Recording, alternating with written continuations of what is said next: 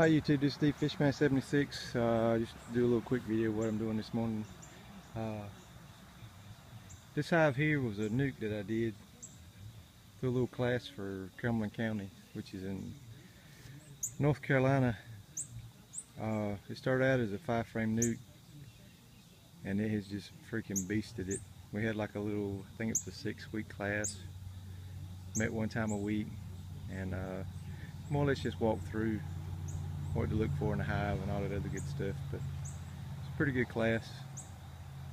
Uh, if you're looking into getting into beekeeping, I would actually check with your your state and look up your say like ncbeekeepers.com and uh, see when they offer the classes for for your county or well I'm in Sampson County so I took a class in Cumberland County their classes are free but that class there you had to pay I think it was 120 bucks for the nuc and you had to supply your own material and stuff but as far as your hives and your frames and foundation but it was a good class. Uh, you got to hang out with some people that were just getting started into beekeeping and uh, it was pretty cool. But uh, what I'm doing today is moving some hives over. This is actually to my mother's house.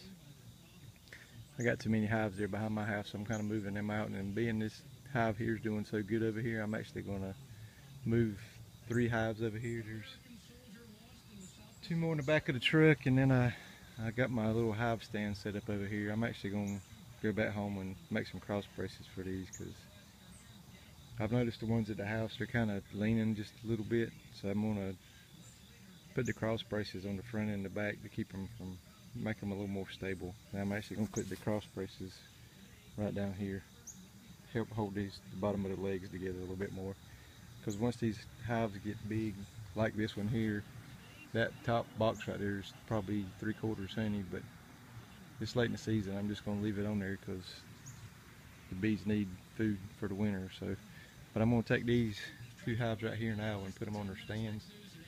The way I move my hives is I uh, take ratchet straps and put them across the, uh, the hives and ratchet it down. And these have got entrance reducers in them, but I just put a piece of wire cloth on it to keep the uh, bees in and also provides them with uh, ventilation. So just want to show you what I was up to this morning. Here's my little setup. I'm going to get back to it so I can get these bees out. Hope y'all having a good day.